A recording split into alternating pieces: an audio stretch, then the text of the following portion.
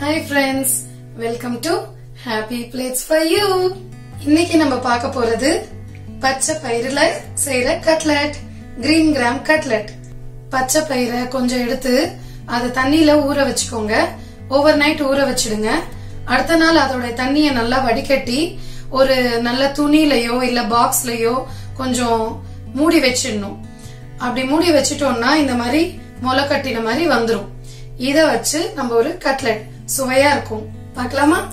இதற்கு தேவையான பொருட்கள் முளை கட்டிய பச்சை பயிறு இரண்டு கப் வேக வைத்து மசிச்ச உருளைக்கிழங்கு ஒன்றரை கப் வேக வைத்த பச்சை பட்டாணி அரை கப் கடலை மாவு இரண்டு டேபிள் ஸ்பூன் கார்ன்ஃபிளவர் இரண்டு டேபிள் ஸ்பூன் கார்ன்ஃபிளவர் இல்லாட்டி நீங்க கடலை மாவே ரெண்டு டேபிள் ஸ்பூன் ஆட் பண்ணிக்கோங்க.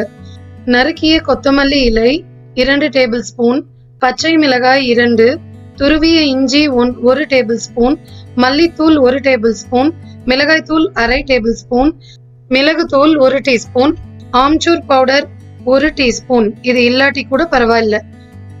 உப்பு ஒரு டீஸ்பூன் அல்லது ருசிக்கேற்ப.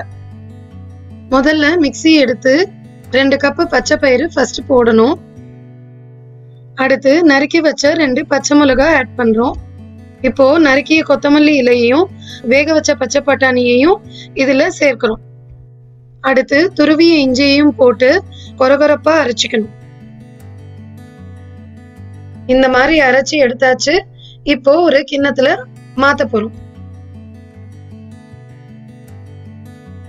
இதுல மசிச்ச உருளைக்கிழங்கு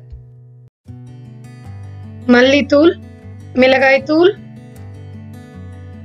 அம்ச்சூர் பவுடர் இது இல்லாட்டி கூட பரவாயில்ல. அடுத்து உப்பு. அடுத்து கடலை மாவும் சோள மாவையும் சேர்க்கிறோம். இப்போ இது எல்லாத்தையும் சேர்த்து நல்லா கலந்து விடணும். இப்போ இதோட சேர்த்து மிளகு தூள் ஒரு டீஸ்பூனும் போட்டு நல்லா கலந்துருங்க. இப்போ இது ரெடி ஆயிடுச்சு.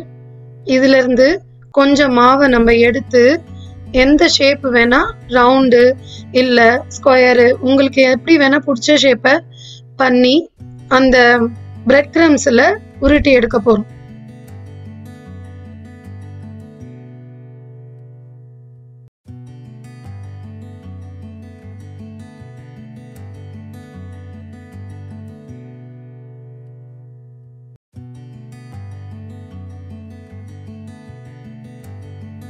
இந்த மாதிரி எல்லாமே பண்ணி அடுக்கி வச்சுக்கோங்க. ஒரு பேன்ல நாலு டேபிள் ஸ்பூன் எண்ணெயை விட்டு சூடானதும் ஒன்று ஒன்றா எடுத்து பொறிச்சிக்கணும். ஒரு பக்கம் ஃப்ரை ஆன அப்புறம் அடுத்து இன்னொரு பக்கம் திருப்பி விடணும். ஆனா கொஞ்சம் பார்த்து மெல்லமா பண்ணுங்க.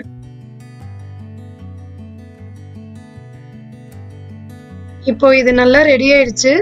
ஒரு டிஷ்யூ பேப்பர் இருக்கிற பிளேட்டுக்கு மாத்தி விடலாம். இந்த மாதிரி ஒரு ஒரு பேட்சா போட்டு எடுத்துக்கோங்க. எப்படி சூப்பரா நம்ம பச்சை பயிறு கட்லெட் ரெடி ஆயிருக்குன்னு பாத்தீங்களா? இப்ப பாருங்க இது ஓபன் பண்ணி காமிக்கிறேன். நல்லா சுட சுட சாஸ் வச்சு சாப்பிட்டீங்கன்னா சூப்பரா ஈவினிங் ஸ்நாக் ரெடி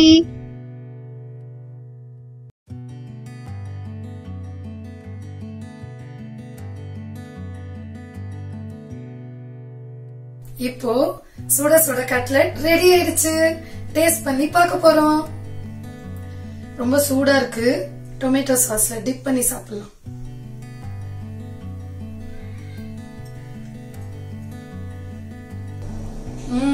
டேஸ்டியா இருக்கு. நீங்களும் ட்ரை பண்ணி பாருங்க. வீட்ல கண்டிப்பா நிறைய பேருக்கு பிடிக்கும்னு நினைக்கிறேன். ஹாப்பி பிளேட்ஸ் ஃபார் யூ உங்களுக்கு பிடிச்சா ஷேர் பண்ணுங்க சப்ஸ்கிரைப் பண்ணுங்க லைக் பண்ணுங்க நன்றி.